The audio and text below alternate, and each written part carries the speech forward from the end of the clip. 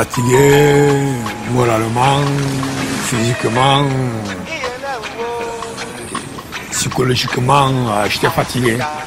J'ai mon ami qui était à l'île de la Réunion qui a accepté de me recevoir là-bas pour me reposer.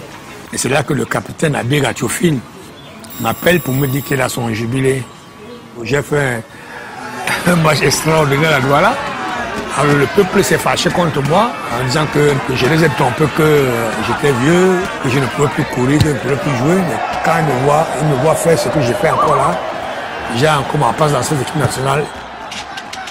Le ministre de l'époque a, fait mis dans les oreilles de Néponachi que j'étais déjà vieux, que je ne pouvais plus jouer.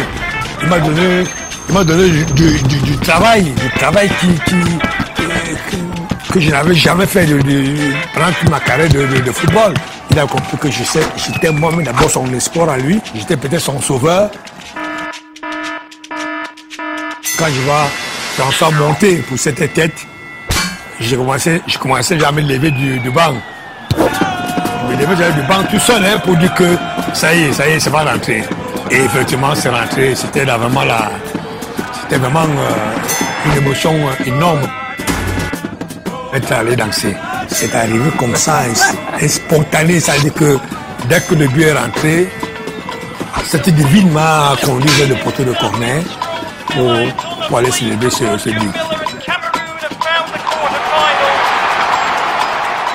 Émotionnellement, c'était pas très difficile. Ça a été difficile peut-être une ou deux semaines après.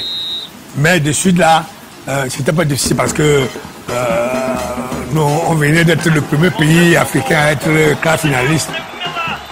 Oh, c'est la folie. Tout le monde, même les bébés étaient assis au bord de la route pour euh, accueillir le cortège qui nous amène de la- de l'aéroport, euh, le tour de la ville euh, jusqu'à l'hôtel. Oui, c'est une fierté de, une fierté de, pionnier.